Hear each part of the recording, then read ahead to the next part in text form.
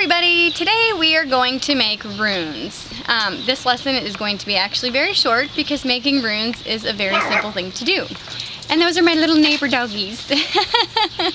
um, so anyway, I will show you uh, the runes that I've made and also show you a very easy, uh, simple way to make them yourself. So, let's take a look at the ones that I've made in the past. This is a lima bean set.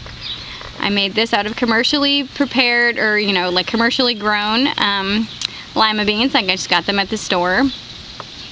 And this is the set that I use pretty much every day. Um, I really, really love it.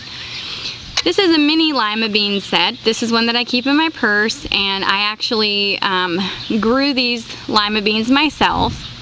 Um, so they have some very special, significant meaning for me. And this is a set that I made using river stones.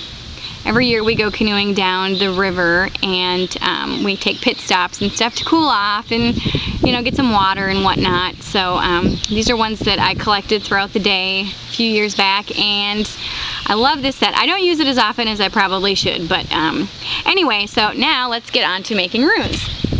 So uh, first, when you you know want to make runes, you need to figure out uh, what your material is going, you know, like um, that you want to use. And um, today we're going to use lima beans since it's very simple and easy. And then you also want to get um, a list of runes. This is a chart that you can get at pretty much most New Age shops, and you can even download it for free online. Um, and then what you want to do is get your material, which today, like I said, we're going to be using lima beans. And you want to make sure that you get some without cracks. I don't know if you can see this, but this one has some flaws in it. Um, if you use this, you know, like this type of bean, um, sometimes the, um, the outside will flake off and then you won't be able to tell which rune it is.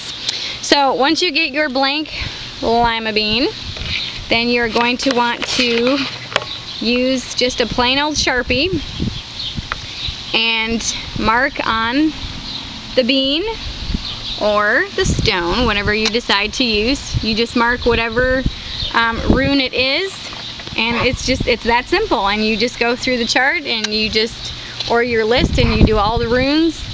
Um, and then once you're finished, then you can bless it and consecrate it. And um, I like to keep mine with some sacred stones for specific or for various reasons. Um, but that's it. And then whenever you need to use them, you can just have them handy with you. And this set I keep in this bag. And this set I keep in this little tiny bag. And then this set I keep in this bag.